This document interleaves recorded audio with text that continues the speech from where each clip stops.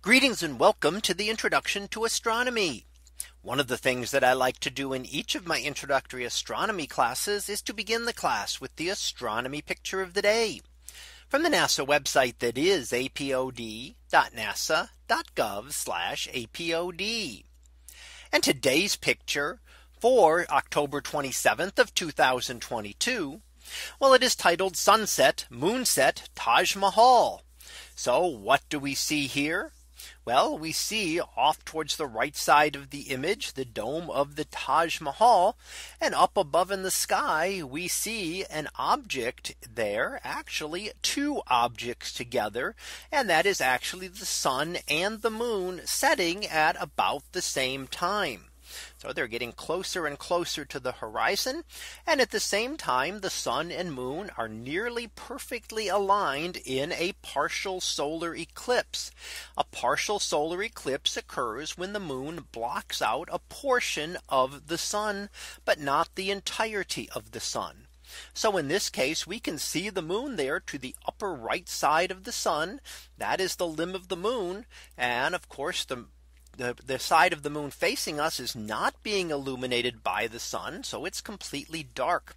And it makes it appear as though a part of the sun has disappeared and the sun appears as a crescent. Now this would then continue until the moon moved further away from the sun and as the two begin to set. Now eclipses like this occur uh, uh, on, a, on a yearly basis generally.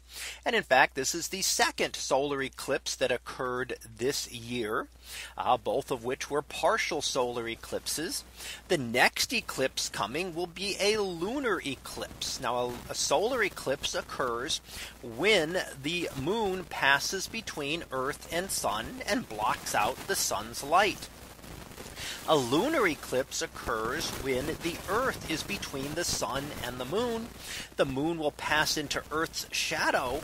And that means the moon will no longer be directly illuminated by the sun and will appear dark and then will appear a very deep blood red when it is in the deepest part of its eclipse. And that is because of light sneaking through Earth's atmosphere. So while the moon has no atmosphere here and fully blocks out the sun, the Earth's atmosphere allows some of the light to sneak into its shadow, not giving us complete darkness in a lunar eclipse.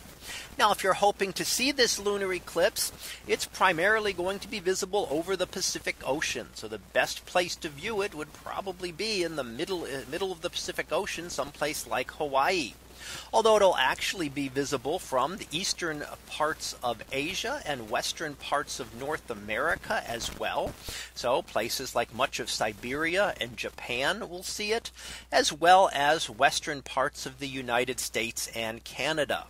If you're a little further away from those, whether to the west or to the east, you'll get to see only a portion of the eclipse. Uh, in this case, much of Europe and Africa will get to see none of the eclipse because it will occur during the day when the moon is therefore at full moon below the horizon and not visible.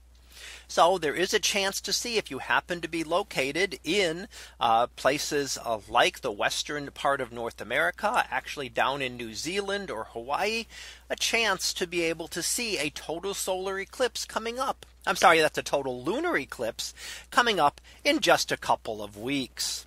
So that was our picture of the day for October 27th of 2022. It was titled Sunset Moonset Taj Mahal.